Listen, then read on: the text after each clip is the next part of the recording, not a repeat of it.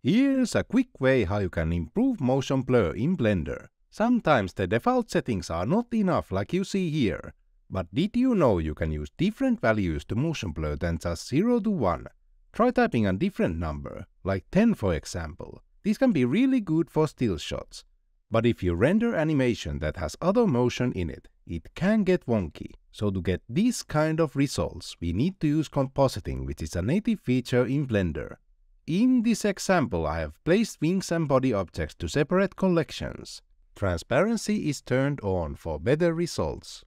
Now enable this holdout option at the toggles menu to get this icon to switch on and off. Holdout means the collection won't be rendered at all, so you can use that collection as a mask which is really powerful. Let's create a new view layer. Name the original view layer to body, a new one to wings. Toggle this setting to see them both at the outliner. At the body view layer, disable wings collection entirely. And at the wings view layer, mark the body collection as a holdout. If your collection has other collections inside, mark them as well. Reset the motion blur back to default settings by pressing backspace here. Switch to compositing workspace. Check use nodes. Duplicate this render layers node with shift D and move it below. Make sure the upper one has body view layer and the lower one has wings view layer. Press shift A and add a mix node. I set it to add, but feel free to try other modes. Connect the wings render image to the lower slot if you Ctrl Shift click to a node, you can view how that node looks like.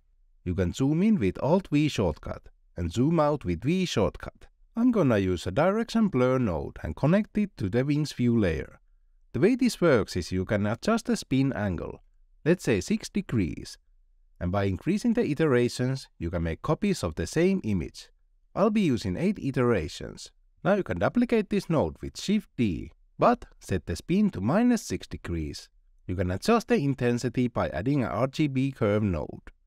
If you want to go more extreme with motion blur, you can duplicate all these nodes and hook them to a new add node, but change the direction blur values to 10 and minus 10 degrees. If you have a background and render everything to a single file, you can also add a dispersion node. This node has a lot of options to tweak, and it also works with the new real-time compositing. And there you have it, a quick way to improve motion blur. Hope you learned something. See you next time.